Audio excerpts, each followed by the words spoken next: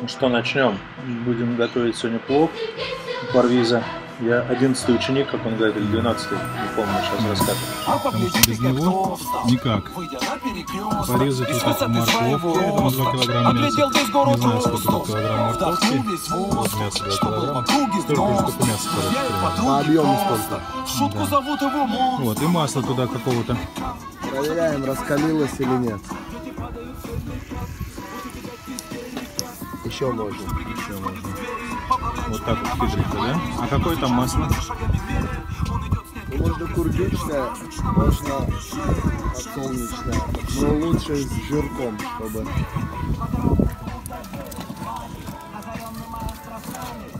Масло. Сразу нужно кусаться. Масло, которое кусается, бросаем мясо, и оно должно там обжариться.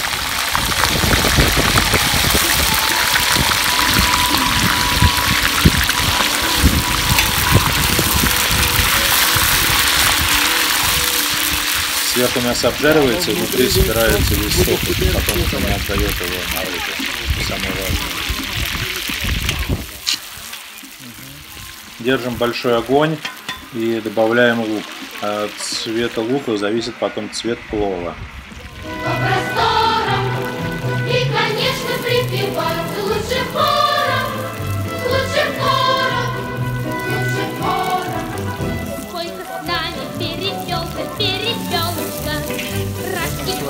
Иголка, два иголка, будет елочка, Раз дощечка, два дощечка, будет лесенка, Раз словечко, два словечка, будет песенка.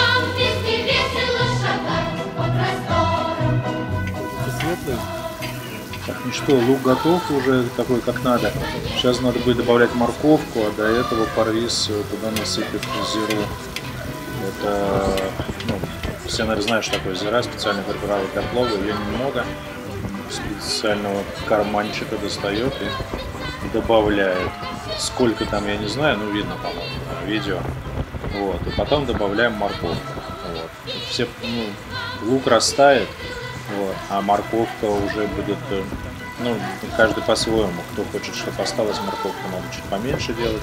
Кто хочет, чтобы морковка э, растаяла в плове, надо ее будет э, доваривать, там, дожаривать до такого состояния, чтобы она прям скукожилась вся. Раз два будет радуга. Раз, В этом состоянии можно бросать морковку. Как будет? Золотистый. Плов золотистый будет.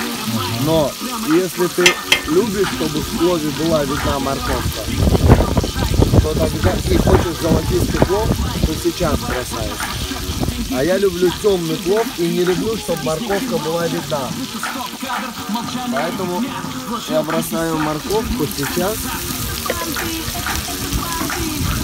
Потому что лук вместе с морковкой тоже пережарится и потемнеет.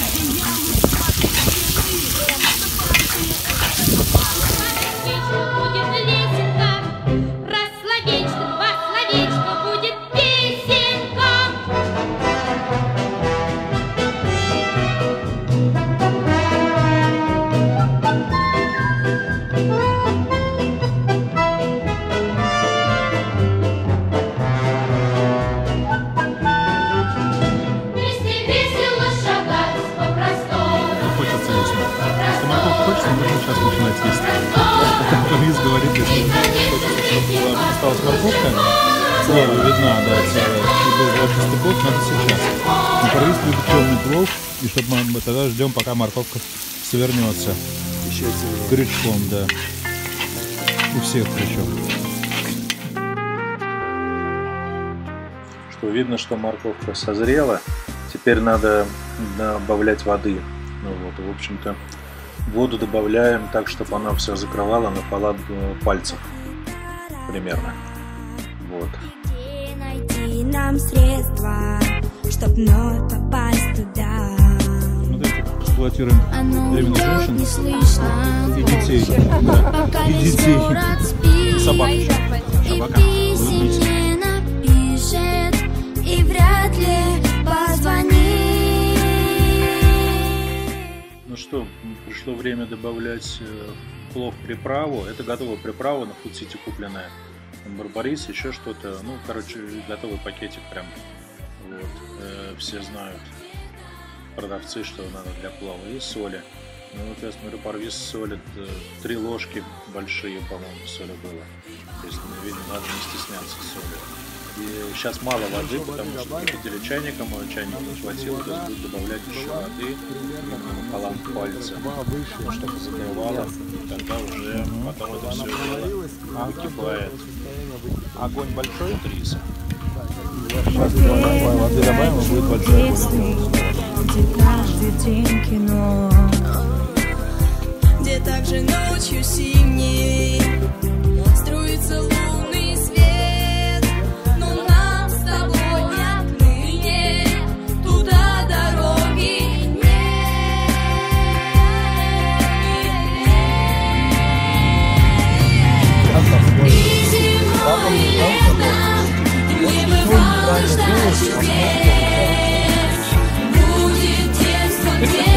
Папа просто не может ждать позиции.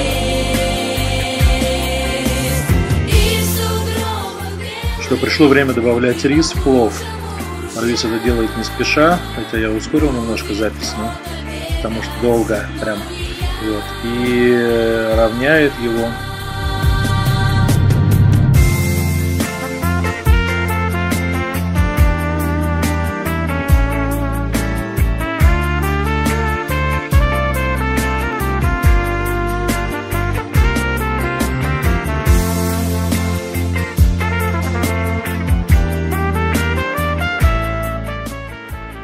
После того, как разровняли плов, надо будет добавить воды через шумовку, чтобы не было дырок.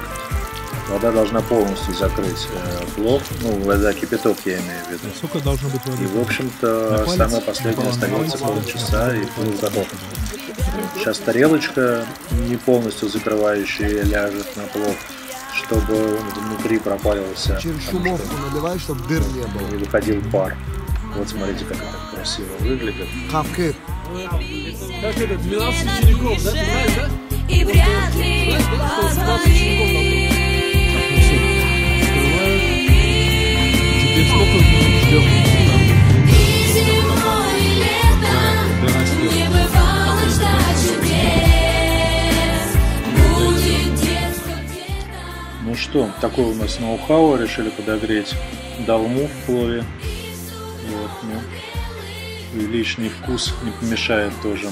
Хуже не будет точно.